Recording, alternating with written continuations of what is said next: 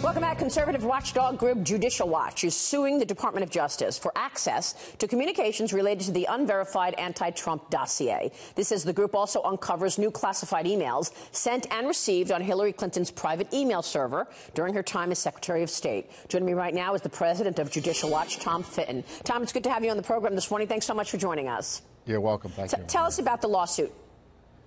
What well, are you trying to get?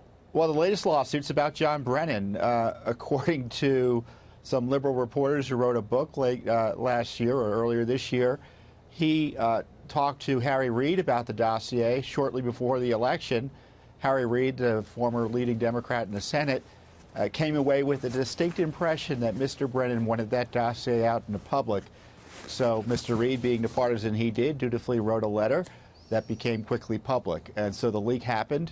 And so we've asked about communications that the CIA and Brennan had with Reid about this dossier.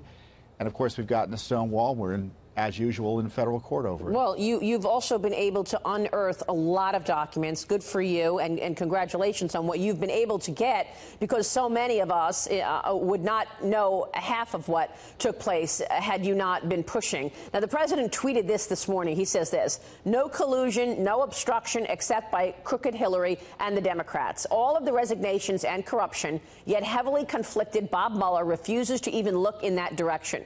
What about the Brennan, Comey, McCabe, Strzok lies to Congress or crooked emails? Uh, Tom, let me, let me ask you about this because you're also, you have unearthed documents that were on Hillary Clinton's server. What did, what's, why is that important?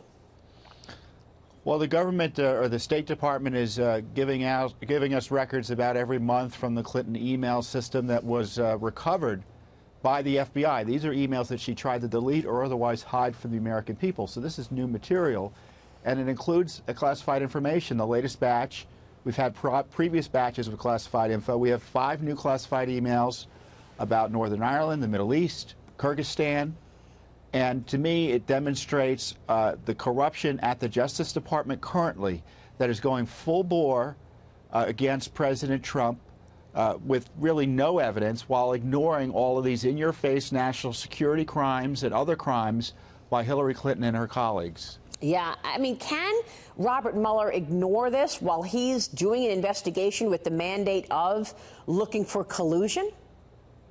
You know, the only person who got money directly from Russia, as far as I could tell, involved in the who were running for office in 2016 was Hillary Clinton. She and her husband, her husband made a speech in Russia for $500,000 to a firm that was a front for the Russians in Uranium One. Uh, they reportedly received millions as part of an effort to get a good result on that Uranium One decision. And of course, she hires this cutout Fusion GPS who was using supposedly Russian intelligence sources to launder information into the FBI and DOJ. Think about this, Maria. Peter Strzok, who's investigating Hillary Clinton's email abuses, at the same time is working with Hillary Clinton's campaign apparatus to try to take out President Trump, or then candidate Trump. outrageous conflict. And Mueller is conflicted himself because he's using all this material created by Strzok, by Ohr, by Steele, mm -hmm. by the Clinton DNC dossier. Uh, the spy, we haven't even gotten into the Spygate where the FBI slash CIA was going at, uh, sending informants targeting the Trump campaign right. to try to dig up dirt. Yeah, they were they were sending informants in well before the launch of the investigation, which was July 31 of 2016. But they were uh, informants trying to taunt Trump campaign people way before that. You know, I mean, I, we were just talking with John Ratcliffe, and there's no surprise or no no no coincidence that all of the top leadership, or a, a significant amount of the top leadership at the FBI and the DOJ, has been fired. Let, us go through this. I mean, you've got Andrew McCabe fired for misconduct, criminally referred. You've got Jim Comey fired under investigation. Sally Yates fired. Peter Strzok fired and now under investigation. Bruce Ohr demoted under investigation. Right. Three of the five people, we received the FISA warrant applications through another FOIA lawsuit.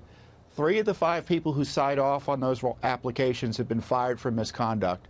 Two of them remain. Rod Rosenstein, who signed on, presumably for uh, Mr. Mueller, he signed a, he, his that warrant application that Rosenstein signed on for was in June of 2017. So this is in the middle of Mueller operation. So these compromised um, documents, these compromised investigative techniques, the FISA warrant, uh, is benefiting the Mueller operation. I, th this is what I want to focus on because we, we're talking about what went on during the Obama uh, administration and to the beginning of the Trump administration. But all of this is part of Mueller's ball of wax. He needs to be held accountable. And I'd like to see Mr. Mueller on the list of witnesses for Congress. Why isn't he being brought in and asked about Wow. how he was hired, the scope of his work, how he administers his office, why he can't find any Republicans to hire? What was he doing with Peter Strzok that he uh, let him out and then hid that information about the purpose, the reason for letting, uh, kicking, kicking him off his team Right. for four months? Yeah. All really Basic good questions. questions. Tom. I know you'll be covering it, and we'll be following your work. Great to have you on the program today. Thanks so much, Tom. You're welcome. Tom Fitton joining us there.